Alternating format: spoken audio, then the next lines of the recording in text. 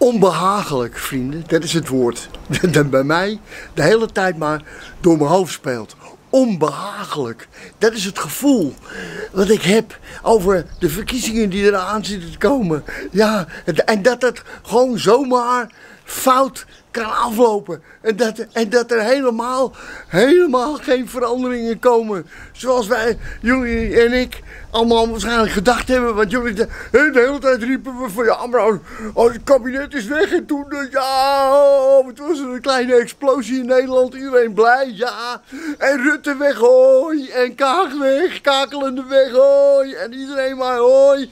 En nieuwe mensen. En nu komt er verandering.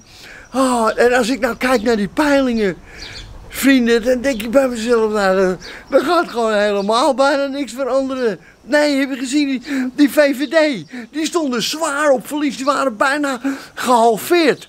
De vorige peilingen, maar twee weken geleden, hadden ze 20 zetels. En nu 25 zetels, vrienden. Vijf erbij.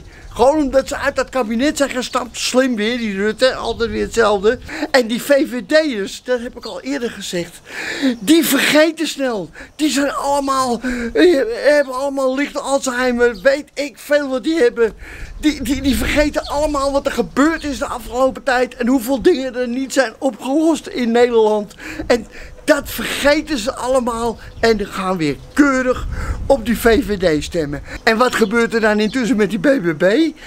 Ja, de Caroline, twee zetels naar beneden. Van 27, die was al een beetje naar beneden aan het glijden. En die gaat nu ook naar, naar 25. Staat dus gelijk met de VVD. Dus hebben we nog maar een klein setje nodig. En dan is de VVD weer de grootste.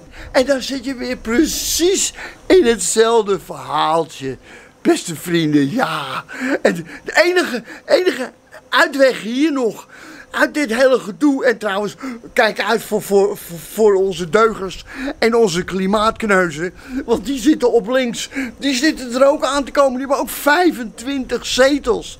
En als je Timmermans mee gaat doen, dat blijkt ook wel uit peilingen. Dan krijgen ze er nog eens drie zetels bij. Als, oh, met die groen erbij. Ja. ik, dat bedoel ik met onbehagelijk. Ik, ik, ik voel me onbehagelijk, vrienden, over die verkiezingen. Het enige uitweg hier nog iets, omzicht. Omzicht, als die mee gaat doen, heb je dat gezien? Die krijgt in zijn eentje, hup, boem, 29 zetels. Ja, omzicht, ja. En dan gaan die anderen gaan allemaal terug. Dan gaat de VVD terug naar 23 en de maar BBB zakt dan in één keer klap naar 15. Dus... dus tegen die tijd, als omzicht mee gaat doen, vrienden, is er maar één oplossing als je echt verandering wil. En dat, daar hadden jullie toch allemaal in gedachten. Echt verandering, dat er serieus iets gedaan gaat worden voor de burgers in Nederland. Dan, dan, dan is omzicht je, je enige uitweg tegen die tijd. Want die moet dan de grootste worden. Anders als VVD de grootste is, gaan zij het bepalen. De, dan leveren zij de premier en de meeste ministers en dan maken zij de dienst weer uit. Nee, dus vrienden, in geval van omzicht, dan wordt het alle ballen op Pieter.